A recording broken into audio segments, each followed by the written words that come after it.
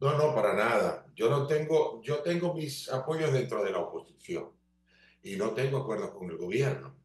Mi trayectoria así lo dice de forma clara. Nunca lo he hecho. Siempre he estado del lado de la oposición y siempre estaré del lado del pueblo. De tal forma que se dicen muchas cosas, no solo de mí, se dicen muchas cosas porque se ha generado una desconfianza tal, precisamente porque el gobierno ha logrado un objetivo, Carlos. Ha destruido la unidad de partidos. Y ahorita la clave de la unidad no son los partidos, es la gente, es el pueblo. Lo que pasó en Barinas. En Barinas pasó que el pueblo tomó una decisión. Y no importa lo que los partidos hicieron, votó porque, por lo que tenía que votar. Así que eh, yo respeto mucho a los partidos, respeto mucho al status quo de los, de los partidos, pero el pueblo está por encima. Y los errores que se han cometido, porque ahora todos estamos llamando a participar, pero a Maduro se le regalaron seis años en el 2018 fruto de las decisiones equivocadas. De tal manera que yo sí creo que hoy en día la unidad es otra cosa. Bueno, perdóname que te interrumpa ahí, eh, Enrique, pero es que en el 2018 se lanzó Henry Falcón. Y, claro, Maduro, Maduro no estaba tan débil como está ahora, pero la gente tenía una opción. No se lanzó ningún otro candidato, pero se lanzó Henry Falcón. Y la gente no votó por Falcón se lanzó Henry Falcón, pero todo lo que era la MUT en este caso se fue para la atención. Mm. Yo fui uno que perdí todos mis privilegios un nuevo tiempo por ir a acompañar a Henry. No porque pensara que Henry tenía probabilidad de ganar con el gran llamado a atención que estaba haciendo el otro bloque, sino porque no me calo que no se participe. ¿Cómo vamos a cambiar el país si no se participa en elecciones? Afortunadamente hoy todo el mundo quiere participar hay, hay, hay, una, hay una situación particular. Ahora, yo difiero de ti. Maduro estaba débil en el 2018, está más débil ahora, pero estaba débil y No, no, yo no he dicho que no estaba débil, digo que no estaba tan débil como ahora. Se le podía ganar y ahora se le va a ganar.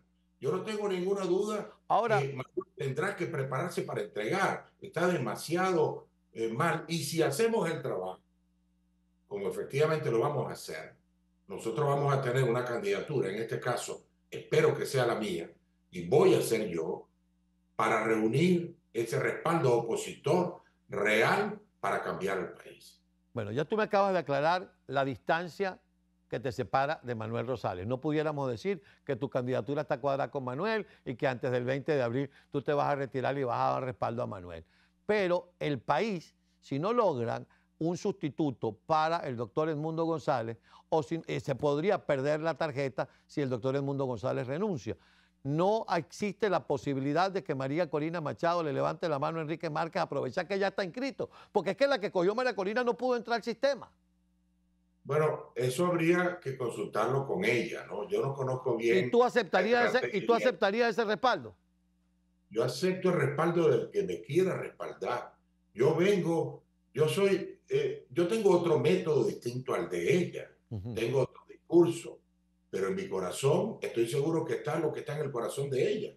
Estamos buscando el mejor país posible y con la misma política, porque lo que queremos es realizar una política pública a favor de la gente, cambiar el gobierno, esta locura, para hacer un gobierno a favor de la gente. En eso estoy seguro que entre ella y yo no hay diferencia ninguna, porque al fin y al cabo, ¿Qué es lo que ha pasado en la unidad? Nos hemos venido separando ficticiamente, porque somos los mismos de siempre. Tú mismo me decías, ¿hace cuánto que no te veo, Enrique? Pero yo he estado aquí en la misma cera durante todo este tiempo, luchando con mi método, con mis herramientas, para tratar de abrir una brecha que pueda acabar con esta locura. Ella lo ha estado haciendo también, de forma valiente, consistente. Yo lo he hecho con mi método. Rosales lo ha hecho con lo suyo. Pero al fin y al cabo, es la misma unidad de siempre que tiene que reconstituirse. Yo propongo que esa unidad, debido a que el gobierno impide que sea una unidad partidista, porque ha acabado con los partidos, que tiene que ser buscada alrededor de la gente, del pueblo. Eso lo hizo María Corina. ¿A quién le ganó María Corina en la primaria?